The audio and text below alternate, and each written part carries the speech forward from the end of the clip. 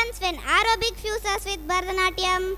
Well, this is the experimentation we are going to demonstrate right now by our Natya Aerobics, which offers a unique to keep approach, active and healthy movements. Continuous and rhythmic fast-paced movements provide a good cardiovascular workout. Thank you.